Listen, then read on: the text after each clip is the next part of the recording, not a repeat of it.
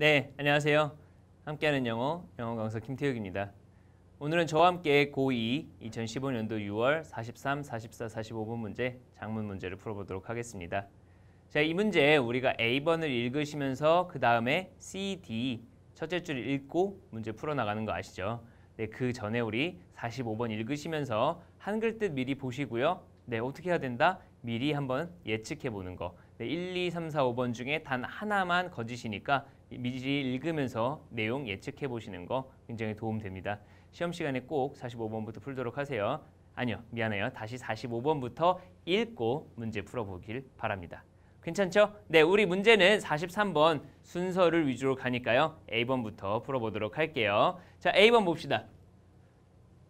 2002년에 크리스마스 이브였다고 합니다. 굉장히 옛날 일이네요. 자, the W 마트 미안해요. 상표를 말할 뻔했네. W 마트에서요. in 여기에 있는 지역의 W 마트에서 was jammed and hectic. 자, 굉장히 사람들이 붐볐고요. jammed죠. 그리고 hectic 바빴답니다. 분주했어요. Dozens of people 수십 명의 사람들이요.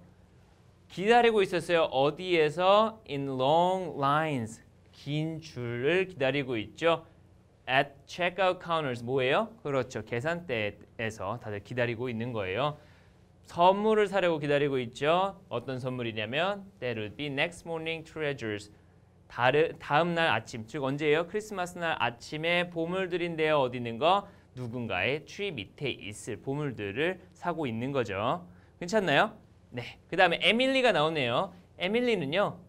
Standing in cashier 멜리사's line. 자, 멜리사라는 캐셔의 라인에 서 있었습니다. 에밀리는요 살고 있는데요 뭐에 의지해 살아가는 겁니까? live 오면 무엇 무엇에 의지해서 살다란 뜻인데 혹은 동물에게 적용되면 뭐예요? 네 무엇 무엇을 먹고 살다 무엇 무엇을 먹이로 삼다라고 생각하시면 되겠어요. 자 뭘 먹고 살았냐면요 뭐에 의지했냐면 정부 지원을 의지해서 살았어요. 자, 그녀의 옷들은요 were worn 어떻게 된 거죠? 네, 낡아 빠진 겁니다. Her hands were those of a person who'd worked hard for what she had. 자, 봅시다. Her hands 앞에 나온 거 뭐예요? 에밀리의 손은요. 어떠한 손이냐면 were those of a person 어떤 사람들의 것이에요?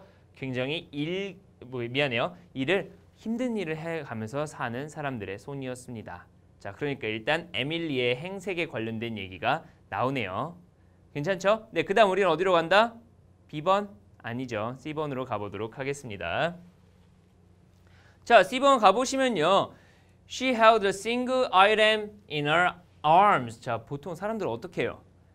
그렇죠. 마트에 갔으면 뭐 카트라든지 여러 가지 물건들을 가지고 갔겠죠. 그렇지만 여기서는 뭐예요? 그녀는 한 가지 아이템 물건만 가지고 있었어요. As she patiently waited. 굉장히 인내심 있게 기다렸죠. 어디로 가는 거? 그렇죠. 라인 앞으로 가려고 기다리고 있었습니다. 계속 기다리는 얘기 나오네요. 하지만 우리는 이게 이어질 거라고 생각해도 어디를 읽어봐야 됩니까? 네, D번을 꼭 읽어봐야 돼요. 읽어보도록 할게요. 자, D번 보시면요. Why my line? 네, 왜네 줄이야? 라고 말하는 겁니다. 멜리사 thought. 멜리사가 생각했습니다. As she watched the frantic woman. 아, 약간 정신없어 보이는 사람이에요. Search through her clothes. 그녀의 옷을 막 뒤지고 있는 여자입니다. 여기서는 앞, 앞에 나온 에밀리가 될 거예요. 자, A도 E도 아니라는 걸 알 수 있죠. 계속 표시하시면서 문제 푸셔야 돼요. 하지만 일단 기다려야 되니까요. 그죠? 여기는 캐셔를 만나려면 앞으로 가서 그 계산원을 만나야 되잖아요. 근데 아직 기다리고 있으니까 기다리는 거 먼저 읽어보도록 하겠습니다. 자, 여기서 기다리고 있는 거 보시면요. Her son, 그녀의 아들은요. 아마 얻을 거예요. 한 가지 선물을. He had, 어떤 선물이냐면 he had asked for. 그렇죠. 그가 갖고 싶다고 말한 선물입니다. 그게 뭐예요? A video game player래요. 자, 그녀는요. 마찬가지로 에밀리가 되겠죠. 그럼 우리는 A, C, E 다 아닌 거 알았어요. 자, 그녀는요. had saved all years for this. 이것을 위해서 1년 동안 돈을 모았답니다.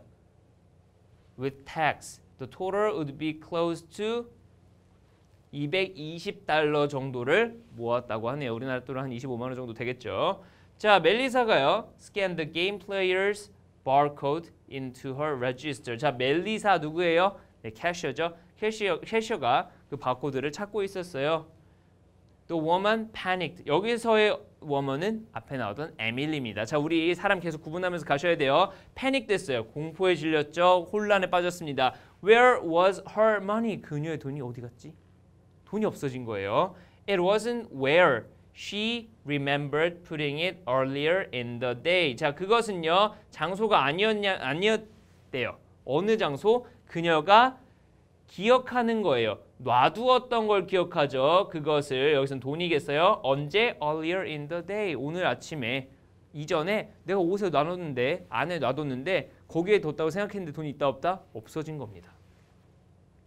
자 그렇다면 여기 지칭추론 보세요. A, C, D, E는 다 아닌 걸로 표시하셨어야 돼요. 그죠? 그럼 뭐만 남았다? B만 남았어요. 그럼 B를 체크하시고 이제부터는 지칭 추론 신경 안 쓰셔도 됩니다. 자 체크하시고요. 다음 넘어갑시다. 그녀의 공포는요 became obvious 확실해졌습니다. 뭐 하는 게 to the customers in line behind her 그녀의 뒤에 있는 라인이요 as she started cry 그녀가 울기 시작했을 때 뒤에 있는 사람들도 다 알게 된 거죠. 자 우리 다음 뒤에 봅시다. 그러면 우리는 뒤에 B가 이어질지 D가 이어질지는 알 수가 없어요. 하지만 D는 아까 읽어봤죠. 아 왜 내 라인이야 이렇게 생각하는 겁니다. B번 봐볼까요? And then 그리고 나서 an amazing thing happened. 엄청난 일이 벌어졌습니다. At the back of the line, 라인 뒤에서요. A woman took out her handbag. 그녀의 핸드백을 꺼내서. 그러니까 우리가 말하는 에밀리는 아니었어요. 읽어봅시다. Pulled out $100 and passed it forward. 앞으로 100달러를 건넸습니다. 자기의 돈 쓰세요라고 주신 거죠. 자 그러면 어디가 돼야 돼요? 일단 캐셔, 레지스터가 아왜네 줄에서 이래? 라고 생각하다가 요런 게 나오니까요. 순서는 어떻게 된다? C, D, B가 되겠습니다. 괜찮나요? 뒤에 부분 읽지 않아도 괜찮아요. 시험 시간에는요. 물론 끝나고 봐야 됩니다. 하지만 시험 시간에는요. 요 앞에 보니까 어, 이어지지 않네. C, D, B가 되겠죠. 답은 3번입니다. 자 그럼 우리는 여기까지 읽은 걸 토대로 나머지 45번도 풀어보면 되겠죠. 에밀리에 관한 내용과 일치하지 않는 것은 자 우리 모르는 부분이 있어도 돼요. 일단 아는 부분만 다 체크하시면 됩니다. 선생님은 지금 이렇게 미리 한 게 아니라 같이 읽으면서 풀지만요. 여러분들은 이걸 읽으시면서 그냥 체크만 하시면 돼요. 오케이? 네 계속 가볼게요. 1번 낡은 옷을 입고 있었다. 맞죠? 여러 사람들로부터 도움을 받았다. 자 아까 뒤에 어떻게 됐어요? 뒤에 있던 사람이 100달러를 건네줬어요. 봤죠? 자 아들에게 선물을 사주려고 했죠. 게임기입니다. 계산대에서 울음을 터뜨렸습니다.까지 끝. 게임, 게임기를 반납했나요? 자 우리 B번만 읽어봐도 어때요? 100달러를 건네줬어요. 근데 결국 모금에 실패하고 에, 죄송합니다 하고 반납했을까요? 아니죠. 이게 이렇게 돼서 결국 그녀가 살 수 있었다는 게 핵심입니다. 하지만 글을 다 읽지 않았을 때 어, 반납했을지도 모르잖아요 라고 생각하는 거죠. 100달러를 건네줬지만 안 될 수도 있잖아요 라고 생각할 수 있죠. 하지만 우리는 1, 2, 3, 4번을 다 풀어봤으니까요. 다 읽어봤으니까 어때요? 같이 읽었잖아요. 확실한 것들이 여기 있으니까 5번은 아닌 게 되겠어요. 그러니까 답을 5번으로 체크하시면 되겠습니다. 자 이렇게 시험 시간에는요 시간을 아끼셔서요 읽어보지 않아도 풀 수 있는 문제는 풀, 읽지 않고 풀어야 우리가 제때 문제를 다 풀 수 있어요. 그래서 앞에 문제를 다 푸시고요. 만약에 그 뒤에 다시 시간이 남아서 아 이건 좀 풀어봐야겠다 하면 돌아와서 요거 푸시면 되겠어요. 괜찮나요? 네 이렇게 푸시면 어렵지 않게 풀 수 있으니까 시험 시간 아껴서 좀더 점수 올려보도록 하겠습니다. 괜찮나요? 네 하지만 시험 다 끝나고요. 우리 이렇게 연습 다 끝난 다음 뭐 해야 돼요? 네 여기 나온 단어, 표현, 해석 전부 우리 마더텅 책 참고하셔서 문제 한 번 더 돌아보시길 바라겠습니다. 괜찮나요? 네 여기까지였습니다. 저는 다음 문제에서 또 만날게요. 함께하는 영어, 영어 감사 김태혁이었습니다. 감사합니다.